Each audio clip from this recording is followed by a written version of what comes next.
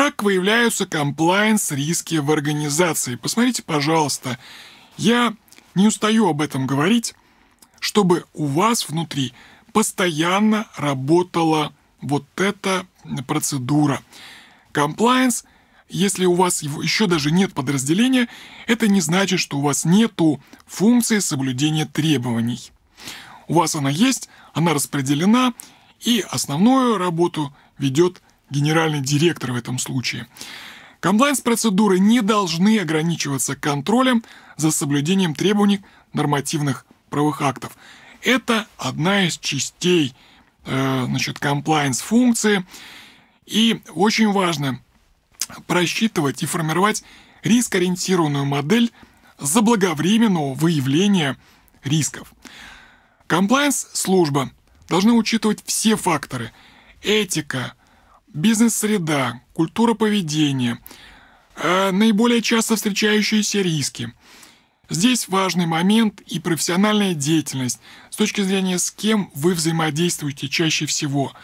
Анализ, где чаще всего срабатывают риски. Обязательно анализ тяжести последствий от срабатывания рисков. В отчете о комплайнс риске используется форма для уведомления о риске – направлены на сбор данных, мониторинг, контроль рисков и включает в себя следующую информацию.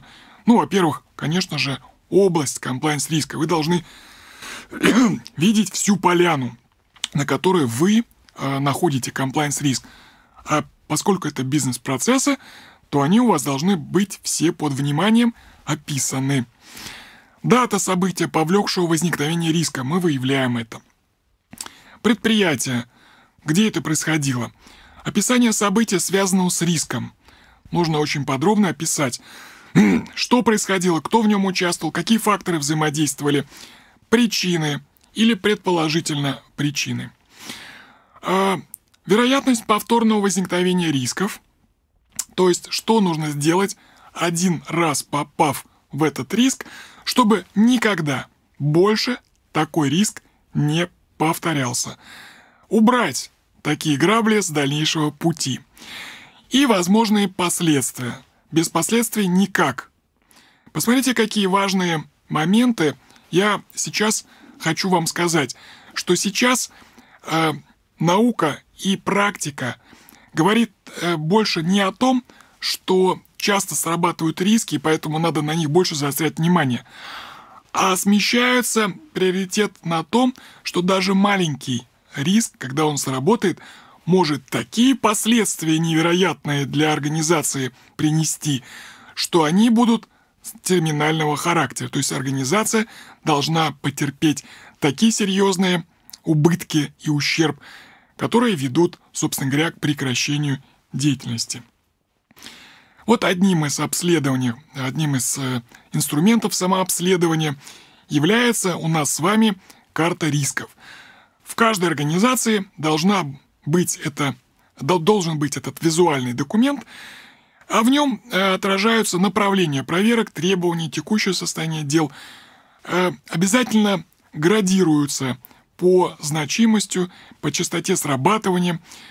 Обязательно в каждом бизнес-процессе должны быть описаны те риски, которым этот бизнес-процесс должен, э, от которых должен отстраняться и вот эти моменты уязвимости каждого бизнес-процесса, они должны очень четко у себя э, в голове держать э, руководители этого бизнес-процесса и участники, чтобы не подвергать этот бизнес-процесс э, рискам, способным его предо... значит, нанести ущерб или чтобы вообще этот бизнес-процесс перестал существовать. Вы знаете, можно выявлять риски заранее, и это важно сделать. То есть комплайн-система э, – это э, система заблаговременного рискоориентированного выявления и прогнозирования этих рисков. Поэтому вы можете э, какой-то частью, которая называется у вас комплайн-служба, комплайн-специалист, менеджер, постоянно нацеливаться на то, чтобы эти риски отгонять от этих бизнес-процессов. И э, критические катастрофические риски – это те, которые стопорят деятельность предприятия, занимают большое количество энергии, сотрудников и финансовых средств, не позволяют в расчетное время получить плановое, плановый результат. Комплайнс-программа позволит вам определить сроки проведения дел в соответствии и выстроить в четкий плановый режим, э, котором вы можете прописать риски, индикаторы, которые отражают ваши вероятностные срабатывания, у вас срабатывание каждого из рисков. Если вы к этому вопросу отнесетесь осознанно, опишите это, то велика вероятность, что вы просто избежите вообще столкновений или встречу с этим риском. Порой э, слышишь от менеджеров, от собственников, когда э, что-то уже случилось, один и тот же э, комментарий. Если бы я это заранее знал, понимал, то, скорее всего, мы бы так не поступили. Уважаемые коллеги, огромное информационное поле сейчас постоянно меняется. У нас в Национальной ассоциации Compliance сформировано большое количество библиотека знаний по э, тем риск случаям, по опыту, практикам различных отраслей и различных организаций, предприятий, для того, чтобы их избежать. Обращайтесь. Мы заинтересованы в том, чтобы распространить вот эту превентивную систему заблаговременного рискоориентированного подхода к работе с возможными неблагоприятными последствиями от рисков. Поэтому готовы этим делиться, так же, как мы делимся этим сейчас у нас здесь на э, вебинаре на YouTube-канале Национальной ассоциации Compliance. Э, так, а кроме Compliance Manager, я вопросы смотрю. Э, кроме Compliance Manager, кто еще мониторит бизнес-процессы? Вы знаете, ну, конечно же, держатели этих бизнес-процессов должны мониторить с точки зрения правильности подходов. И, конечно, комплайнс это как некая, знаете, контргайка, это дублирующая, это зонтичная структура, которая помогает, э, настраивает, обучает, если что-то происходит новое в этом плане. Э, поверьте, это потом сторится обязательно вам вернется правильным, хорошим результатом действия этого бизнес-процесса. Уважаемые коллеги, я очень рад, что сегодня у нас есть активность.